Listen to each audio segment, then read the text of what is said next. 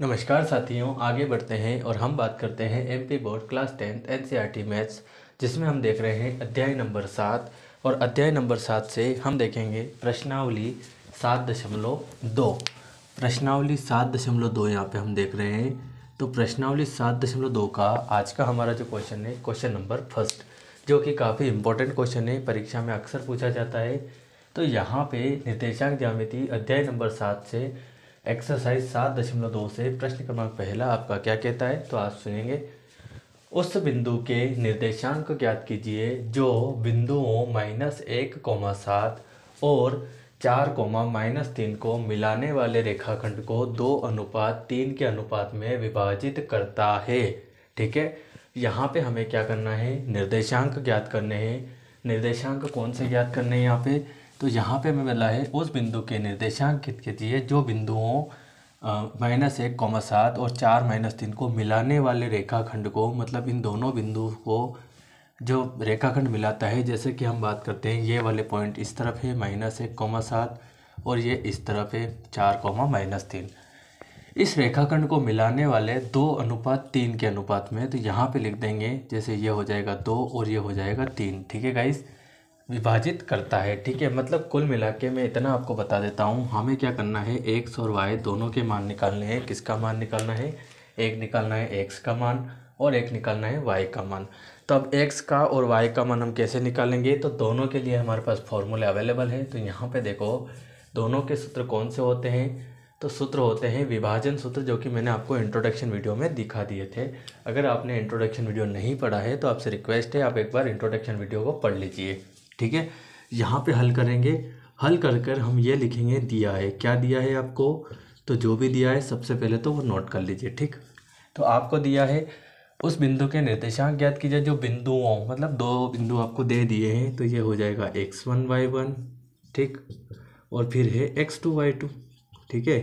क्या बिंदु दिए हैं आपको? एक्स वन वाई वन और एक्स टू वाई टू तो एक्स वन वाई वन कितना हो जाएगा? माइनस एक और सात, और ये हो जाएगा चार माइनस तीन, ठीक? को मिलाने वाले रेखाखंड को दो अनुपात, तीन के अनुपात में तो यहाँ पे हमको एम वन अनुपात एम टू का मान भी दे दिया है और कितना दिया है? दो अनुपात, तीन। हमें उस बिंदु के निर्देशांक ज्ञात करने हैं मतलब एक्स और वाई का मान आपको निकालना है यहाँ पे तो वो हो जाएगा क्वेश्चन मार्क ठीक है गाइस तो इतना तो आपको समझ में आ चुका है कि ये चीज़ें हमको सारी दी हुई है और हमसे क्या पूछ रहा है। अब आइए हम सूत्र लगा देते हैं। तो विभाजन सूत्र आपको यहाँ पे यूज़ करना पड़ेगा। तो लिख देते हैं विभाजन सूत्र, वैसे तो अंत विभाजन सूत्र बोलते हैं, लेकिन हम विभाजन सूत्र लिख देते हैं, ठीक है? एक्स के लिए लिखेंगे तो क्या हो जाएगा? M one X two plus M two Y X X one है ना?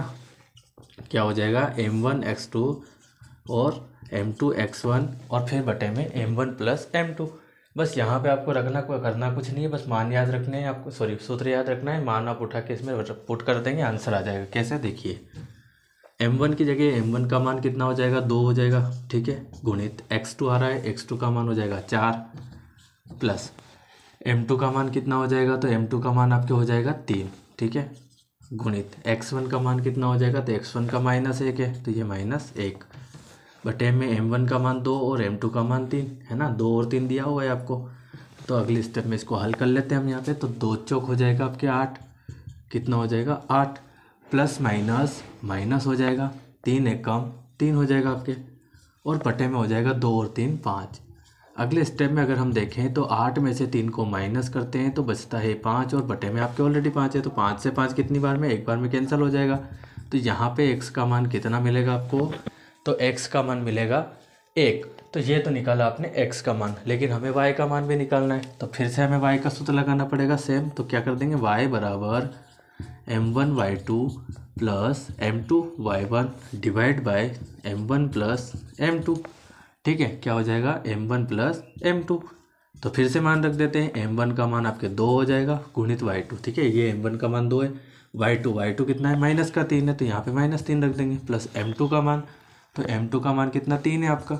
गुणित वाई वन अब वाई वन का मान कितना हो जाएगा? तो ये हो जाएगा सात। ठीक है गाइस यहाँ पे M one plus M two तो दो प्लस तीन।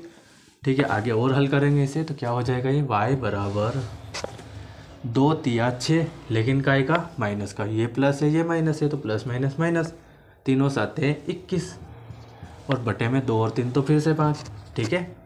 y बराबर माइनस छः और इक्कीस में से बड़ी संख्या यहाँ पे इक्कीस है, इसलिए इक्कीस में से छः जाएगा तो बचेगा पंद्रह। और बटे में तो पाँच है।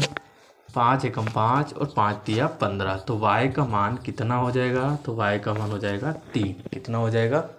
तीन हो जाएगा, ठीक है? अतः हम लिख देंगे, क्या बोला हमसे? उस बिंदु के निर्देशांक ज्ञात कीजिए, जो बिंदु हो तो लिख देंगे यहाँ पे अतः x कमा वाई बराबर x का मान कितना आया? एक। और y का मान तीन। और यही आपका हो जाएगा फाइनल आंसर ठीक है गाइस तो उम्मीद है आपको पूरा क्वेश्चन समझ में आया है। अगर फिर भी कोई डाउट है तो आप मुझे कमेंट कर सकते हैं। फ़िलहाल आप इसे नोट कर लीजिए।